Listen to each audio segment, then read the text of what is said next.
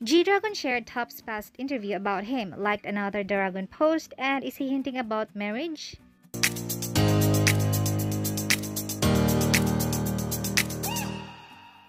In one of G-Dragon's recent IG stories, he shared an excerpt of Big Bang member Top's previous interview about him.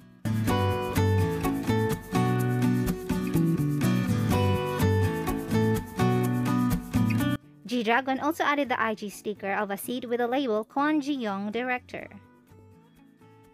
Does G-Dragon wanted to show how he is as the Big Bang leader or how talented he is as a music producer and director?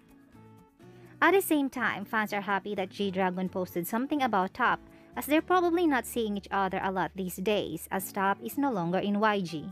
Top also seems to be busy with his wine brand. He's been updating his IG stories about his wine.